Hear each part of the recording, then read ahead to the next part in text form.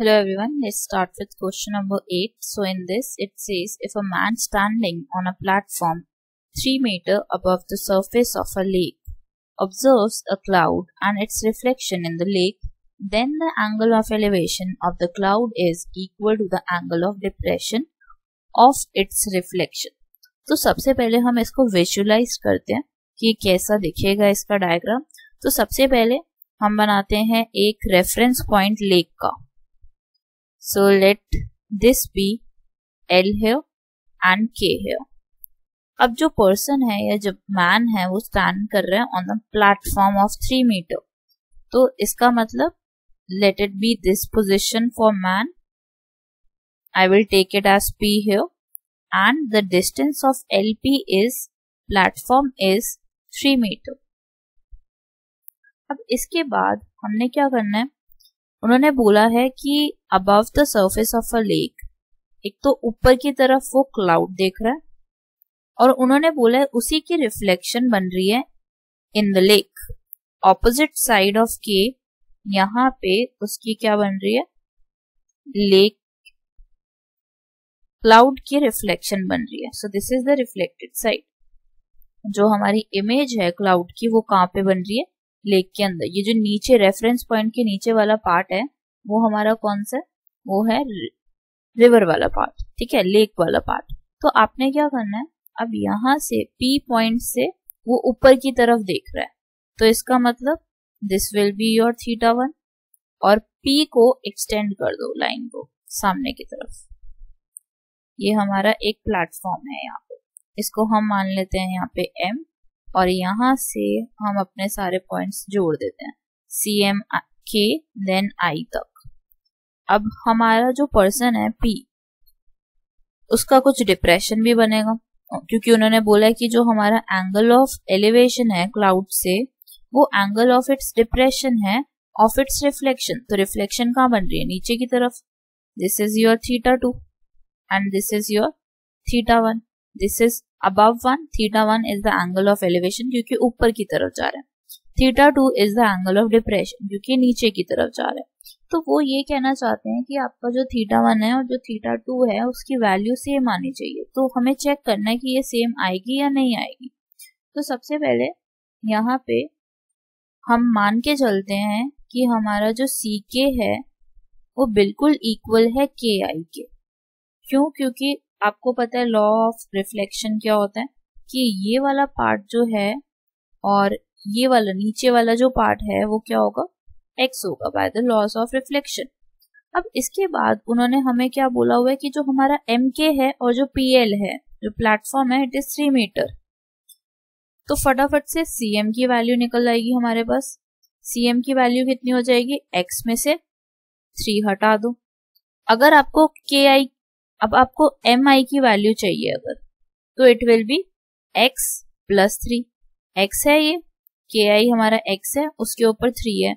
तो ये पूरा हमारा क्या आ जाएगा? It will be X plus three ऊपर वाला एक्स माइनस थ्री है सी एम और नीचे वाला हमारा एक्स प्लस थ्री है। तो अब हमें क्या करना है? We have to find tan theta one अब टैन थीटा वन कौन से वाले ट्राइंगल में से निकलेगा? कौन सा राइट राइट ट्राइंगल बन रहा है हमारा? सीएमपी सीएमपी ट्राइंगल में we will apply tan theta one अब टैन की वैल्यू क्या होती है? टिल पेंटेड ब्लैक मतलब PB perpendicular in this case is C M and base in this case is PM so PM को हम y मान लेते हैं यहाँ पे। सीएम की वैल्यू अभी अभी हमने निकाली it is x minus three और नीचे हमारा Y so tan theta one is x minus three over y. अब हम निकालेंगे tan थीटा टू अब tan थीटा टू देखो कौन से ट्राइंगल में से निकल सकता है. It will be from P M I तो पी एम आई में से we can find tan theta two tan theta two की वैल्यू क्या होगी? जो हमारा एम आई है, वो किसके बेस नीचे क्या आएगा हमारा? It will be P M M I over PM अब मैंने ये क्यों लिखा? क्योंकि हमें पता है tan theta equals perpendicular over base M I की वैल्यू अभी अभी हमने निकाली थी. It is X plus three P M की वैल्यू वाई अब हमें चेक करना है कि क्या ये इक्वल है या नहीं. तो यहाँ से अगर आप देखो तो दोनों y के ऊपर डिपेंडेंट है। Tan थीटा वन भी और tan थीटा टू भी तो सबसे पहले हम क्या करेंगे? इसमें से tan थीटा वन की वैल्यू फाइंड करते हैं। तो tan थीटा वन की वैल्यू कितनी हो जाएगी आपकी?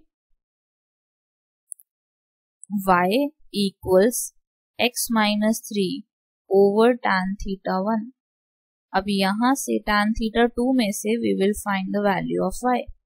It will be x plus three over tan theta two अब इसको इक्वेशन नंबर टू मान लेते हैं, इसको इक्वेशन नंबर वन मान लेते हैं। तो अब हम क्या कर सकते हैं? We can compare these two equations कैसे कंपेयर कर सकते हैं? क्योंकि दोनों ही किस टर्म्स में है? They are in terms of Y तो दोनों को इक्वेट कर देते हैं equation number one and equation number two so we get X minus three over tan theta 1 equals x plus three over tan theta two अब दोनों का reciprocal ले लो और tan थीटा वन और tan थीटा टू को ऊपर ले जाओ। सो tan थीटा टू ऊपर चला गया लेफ़्ट हैंड साइड पे। tan theta one right hand side पे।